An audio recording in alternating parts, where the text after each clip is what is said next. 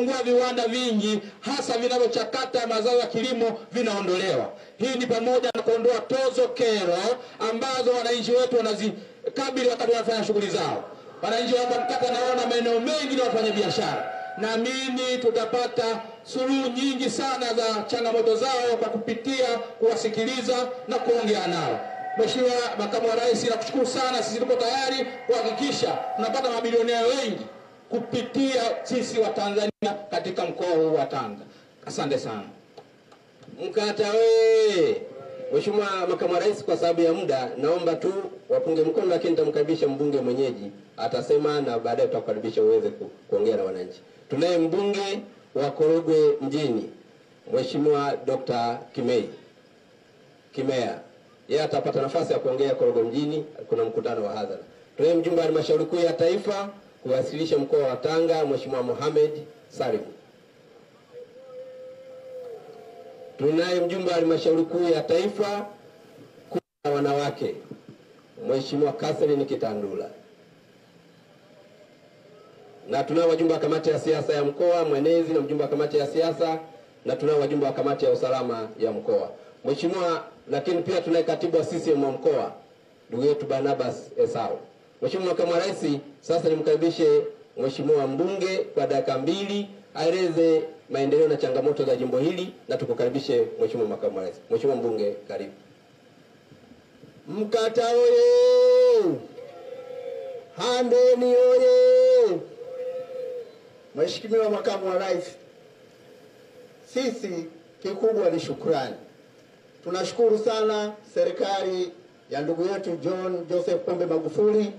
Tunakushukuru sana mama yetu kwa fadhila kubwa mliotupa ya kutuletea bilioni za kutosha kwa ajili ya maji, bilioni mbili kwa ajili ya ujenzi wa halmashauri, bilioni moja kuanzisha ujenzi wa hospitali yetu.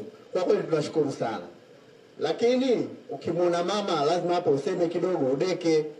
Mama, sisi tuna ombi letu, tuliomba kupitia vikao vya kimkoa kwamba ile shule ya kila kila mkoa akina dada akina mama ikae hapa kwetu watoto wa kike, na tulishatayarisha eka thelathini. Kwa hiyo tunaomba ili tuwekee msisitizo shule hiyo ije hapa kwetu, kwa sababu tuna shule chache za high school, italeta changamoto kubwa. Kwa hiyo ni ombi tunaliomba mama. Mama vile vile tunaomba ukumbushe yale mama ambayo kwenye ilani, barabara yetu ya Mkata kwa Msisi mpaka Pangani kwa kiwango cha lami iko kwenye lami. Barabara ya kutoka Handeni kwenda Turiani na iko kwenye ilani, na barabara ambayo italeta changamoto kubwa ya mwamko wa kiuchumi ya kutoka Handeni Kibirashi mpaka kule Singida na iko kwenye ilani. Tunaomba tukumbushie ili ziweze kujengwa kwa kiwango cha lami. Kwa haya machache, nashukuru sana na wananchi wa Handeni tunakupenda sana. Karibu, karibu sana. Andeni wewe Mheshimiwa Makamu Rais, wananchi wana shauku na wewe. Sasa nikukaribishe, lakini utambue uwepo wa katibu wa mkoa. Mheshimiwa Makamu Rais, karibu. Handeni oye!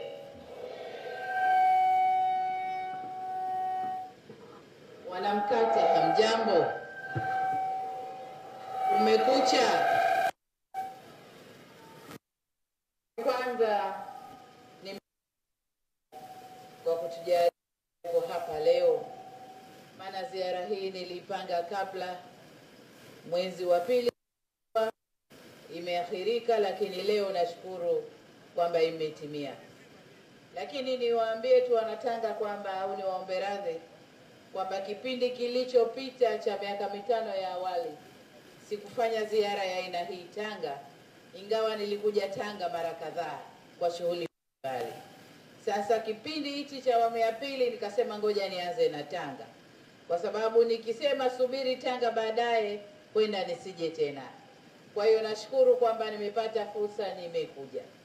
Lakini washukuru sana wananchi wa wilaya hii ya Handei na wanamkata kwa mahudhurio yenu hapa, na kwamba ikanipasa nisimame tusalimiane.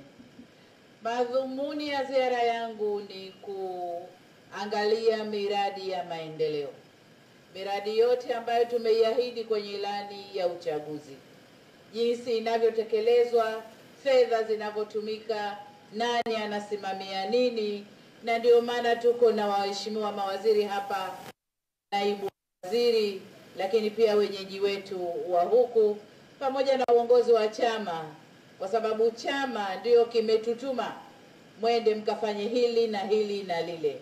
Kwa ziara yangu na wao ni kuniangalia mimi nasemaje katika yale ambayo wamenituma. Kwa ziara yangu nitazunguka kuangalia majengo ya halmashauri, na hapa nichukue fursa hii kuwapongeza sana wanamkata. Nimetoka kuona jengo la halmashauri na hapo hapo nimeambiwa hospitali ya wilaya itakuweko hapo hapo, pamoja na jengo jingine la kiserikali litakuwa pale. Haya ni maendeleo makubwa, hongereni sana. Kilichonivutia ni kwamba ujenzi unaofanywa pale unasimamiwa kwa umakini mkubwa.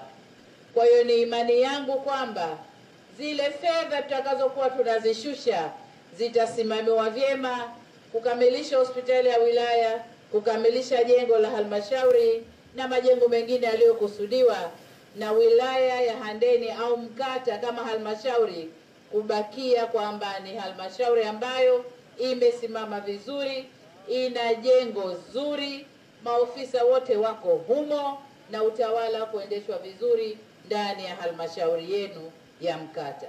Kwa hongereni sana. Wakati niko pale na nilipokuja hapa, kuna changamoto kidogo kishie kwamba changamoto zote za kiutendaji za miradi, kutekelezwa kwa miradi, miradi ambayo imo ndani ya ilani ya uchaguzi au miradi ambayo rais alipita na kutoa ahadi, nataka niwahakikishie kwamba tutaitekeleza. Lengo letu ni kuhakikisha kila kona ya Tanzania inapata maji safi na salama. Kila kona ya Tanzania wana afya bora, kuna huduma za afya bora. Kila kona ya Tanzania kuna nafasi, fursa za watoto wetu kupata elimu ngazi zote, msingi, sekondari na vyuo.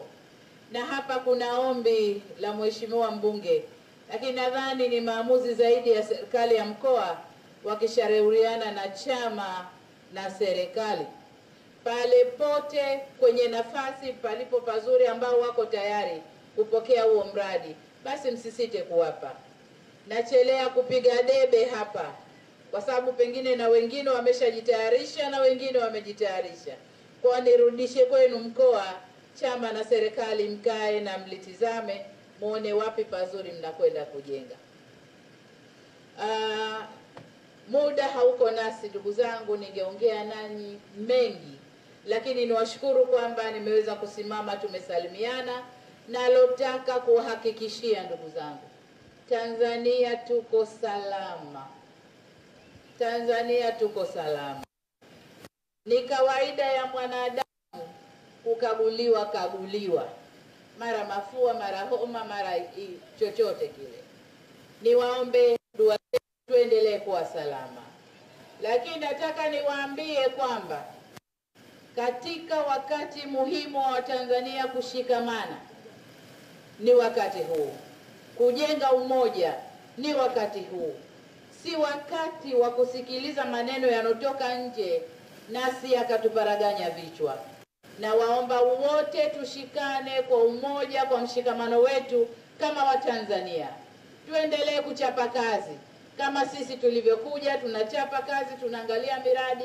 Watu wote shughulikeni na mambo yenu, jengeni taifa lenu, tujenge umoja na mshikamano wetu, ili Tanzania yetu liwe taifa imara, na hichi ndicho kinachotuchongea. Uimara wa taifa unaleta maneno mengi. Kwa hiyo niwaombe sana, tuane, tushirikiane, tujenge umoja wetu ili taifa letu lisogee. Handeni oye! Nadhani ndugu zangu, muda umenipita na sauti inaanza kukataa. Sasa niwaage na niwashukuru sana kwa kusimama hapa na kunifanya niwasalimie na niwatakie kila la heri Mungu awabariki wa sana. Asanteni sana, Mungu awabariki wa sana.